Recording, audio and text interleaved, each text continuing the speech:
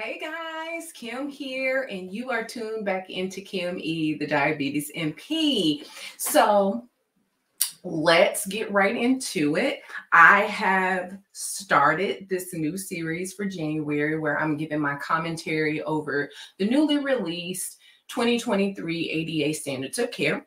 I've already done standard one, two, and today we are going to do standard three, which is prevention or delay of type 2 diabetes and associated comorbidities. So here's that. And I will also link um, the PDF um, in the description box so you can read it, download it, whatever's your pleasure. But let's go ahead and get right into this one. It is not a very, it's not nearly as long as the first two. Um, I know longer ones are coming down the pipe, but um, this one was was not a long one. Okay, and so out the gate, it's talking, it's telling us that we should monitor for the development of type 2 diabetes in those with pre-diabetes at least annually, modify based on individual risk and benefit assessment. And so there's this big push for us um, to really do early screening detection really realizing what people's risks are. There are some guide there are some there's guidance in the previous um, video um, with that um, standard. Um, who should be screened? When should they be screened? Um, we also know now that we are starting to screen everyone at age 35 which is a very young age. So that should tell you where the state of everything is okay? And so um, down here, it says the utility of A1C screening for prediabetes and diabetes may be limited in the presence of hemoglobin hemoglobinopathies and, in conditions that affect the red blood cell turnover.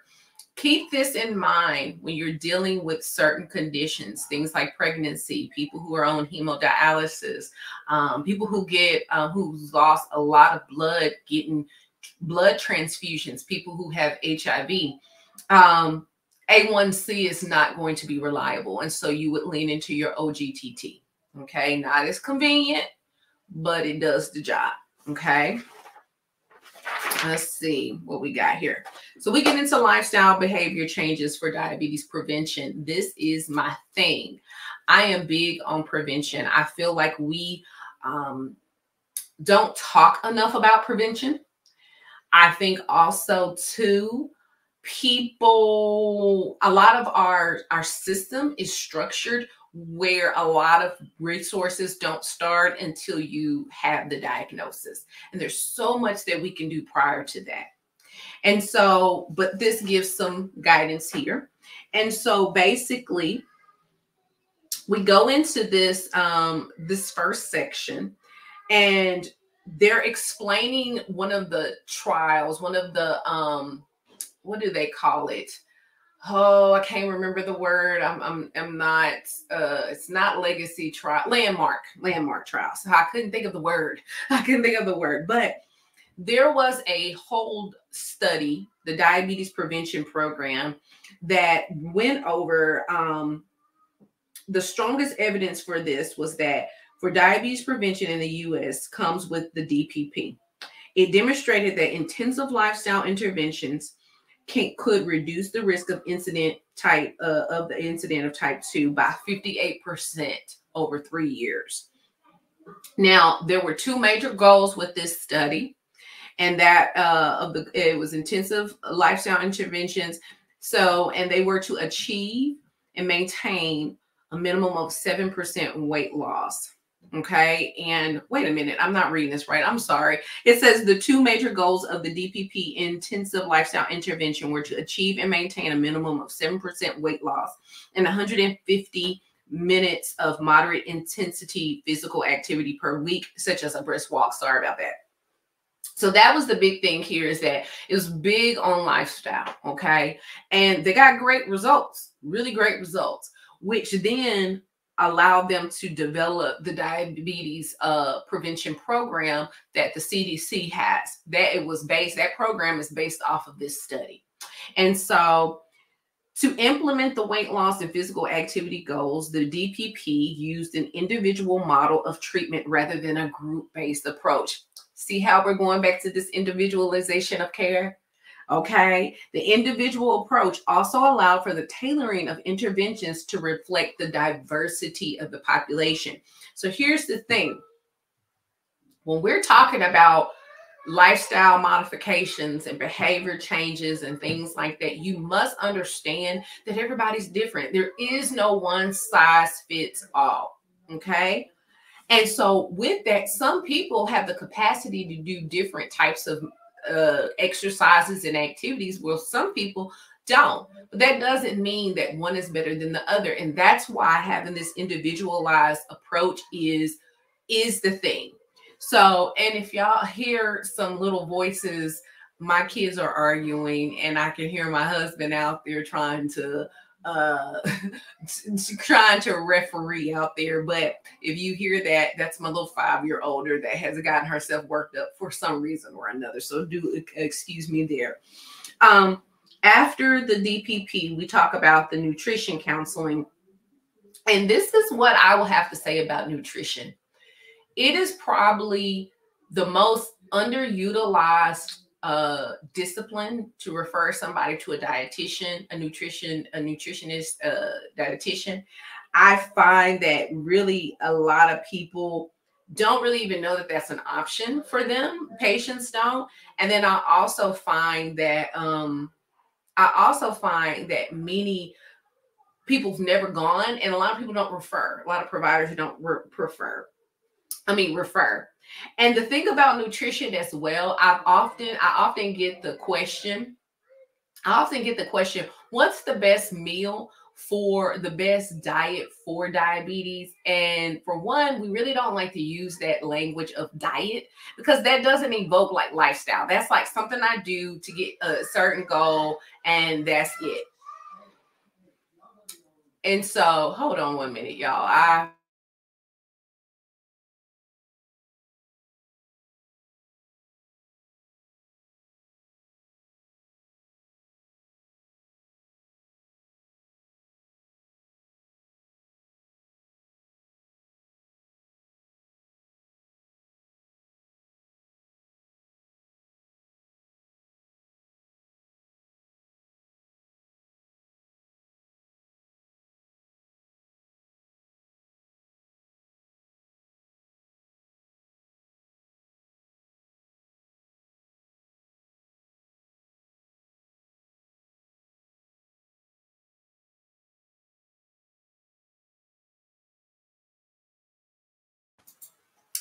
So sorry about that. I had to mute my mic because there was some things that were um, going on out there, and I it was a lot of emotion with my children. So I'm sorry. It's real life, y'all. This is how it really is in real life. So sorry about that. Um, but uh, where was I? Oh yes, I was talking about diet. We actually like to use the the wording eating pattern because how do you typically eat? What's the pattern of how you eat?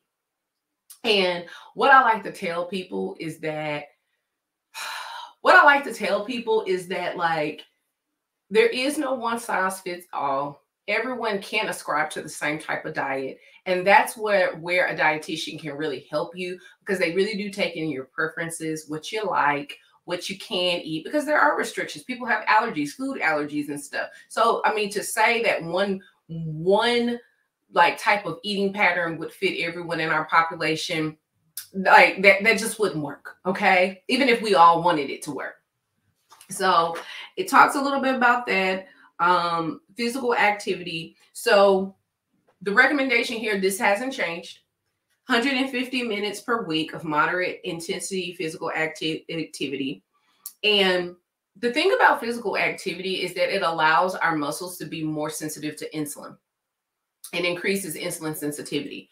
And so I often tell people when I when people hear that 150, they're like, what? But I'm like, that's over a week though. So you really honestly could do 30 minutes a day, five days a week, and you'll get it in. You know what I'm saying? Or you can get more in. But if you look at it like that, or like I go and you know do an hour or whatever, if you were to do three times a week, 60 minutes, you got it. You know, like you've gotten more, you know, and so you really have to think about you really have to think about you know that and when i break it down for people they tend to really that seems way more doable right? So that was that. Um let's see here. Talked about the national diabetes prevention program which was based off the dpp um, study. And so if you are interested in that, so that comes um, with, and I I may I may link that if I can remember to do it. But the CDC has the Di- National Diabetes Prevention Program, and this is for people who are not already diagnosed with diabetes, but they're at risk. And there are some criteria um, for that. The ADA and the, and the uh, ADCES, which are the Diabetes Care and Education Specialists, they actually have a diabetes program, a diabetes self-management education uh, program that is accredited through, you can, you can have a program set up through them and accredited and recognized through them.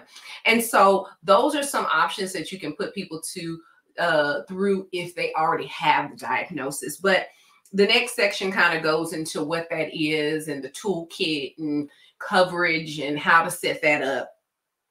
And then we get into um, prevention of vascular disease and mortality. I think we should talk about that a little bit.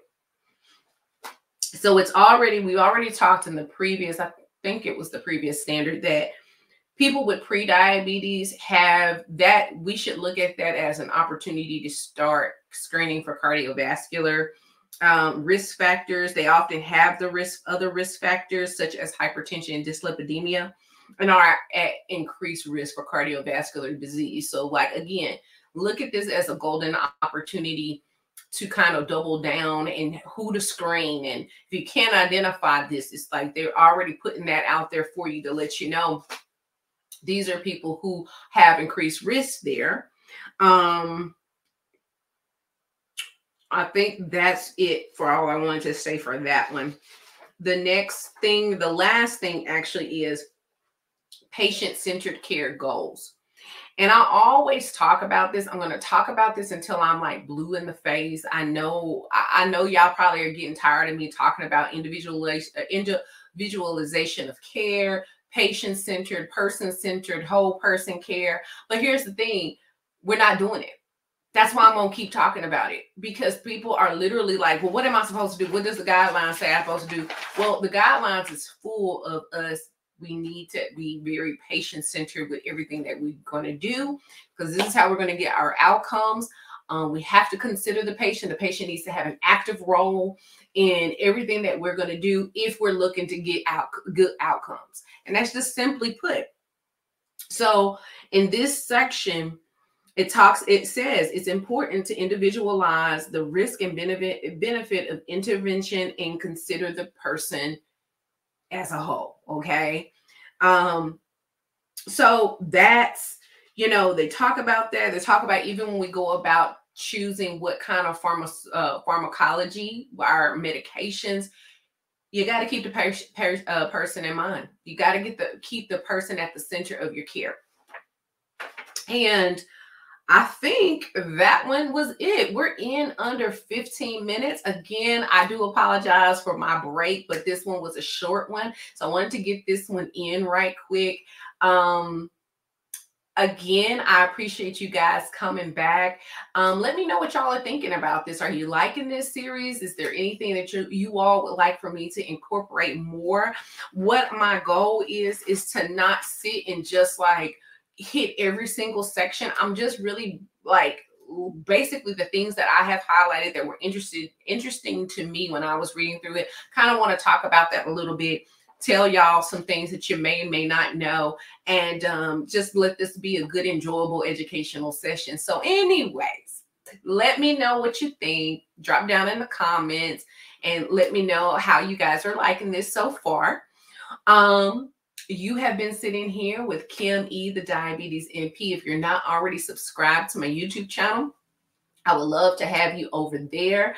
I have already well over 100 videos I, I've been making for some years now already there. And so you can go over there, hang out, um, make sure you subscribe, but also ding the notification bell. So when I do go live like this, when I do post a new video, you'll know that I'm here. You know, that you'll know to come on over and hang out. Um, also follow me on all things social. You can follow, you can find me on Instagram at the diabetes NP. Um, you can follow me. I'm also on LinkedIn, Facebook, wherever there is a place to be found, I am there. And so, anyways, guys, I'm gonna go ahead and hop on off. Um, I'll catch y'all tomorrow, same time, same place. Again, you've been sitting here with Kimmy, the Diabetes NP. I'll catch you on the next one. Bye.